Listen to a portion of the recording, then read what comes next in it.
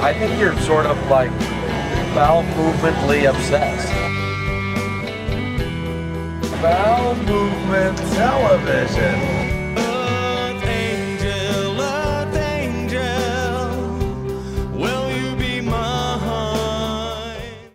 So obviously we have absolutely no idea what this uh, piece of paper is all about, but we're going to find out on uh, Friday, September 28th, 2007, where the Bella Morte and the Voltaire are going to perform together in Columbus, Ohio. See you at the show!